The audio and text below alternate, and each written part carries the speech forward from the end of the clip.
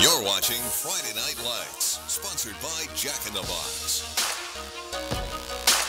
Welcome back, everyone. The Gila Ridge Hawks were one of the biggest headlines of the 2019 season, almost going unbeaten in the regular season, on their way to making the deepest playoff run in program history. Most of that epic team has since graduated, allowing for almost a whole new cast of characters to step in, led by returning dual threat quarterback C.J. Wiggins. Yes, Ridge opens up against a Kofa Kings program, looking to reverse a losing culture under first year head coach Carl Pope, that is. We take you out to Veterans Memorial Stadium for the highlights of this YUHSD season opener between the Kings and the Hawks. Many in yellow showing support for Team Kate. Our thoughts with her family tonight. Kofa wins the coin toss, back to receive as you see things looking good to start. That's Ashton Garello. Gets spun around, loses the ball off the kickoff. Thankfully, he recovers. That would shake things up because their offense, a rough to start at the beginning. The run game gets swallowed by the Hawks. They would go four and out to start. Gila Ridge now to get the offense started. They would go with the run game for a short game, but that would change. Their weapons, CJ Wiggins bombing it down the field more than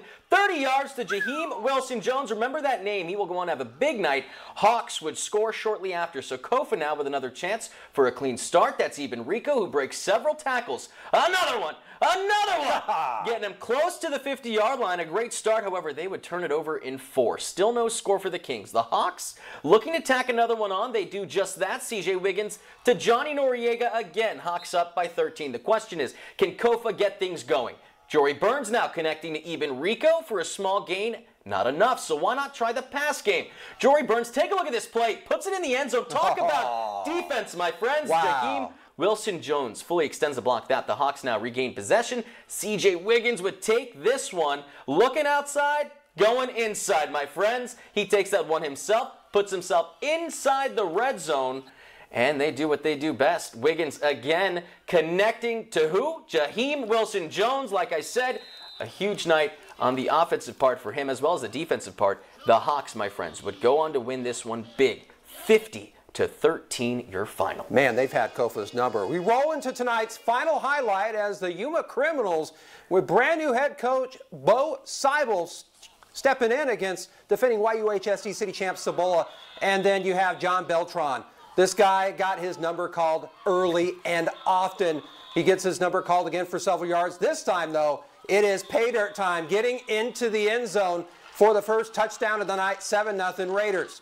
Criminals would seek to respond. Quarterback Genoa Medell throws a slant pass, but he can't connect with star wideout Alex Mosqueda right there. Medell would then hand off to Julian Becerra, but he's swallowed up at that Raider horde for a big loss.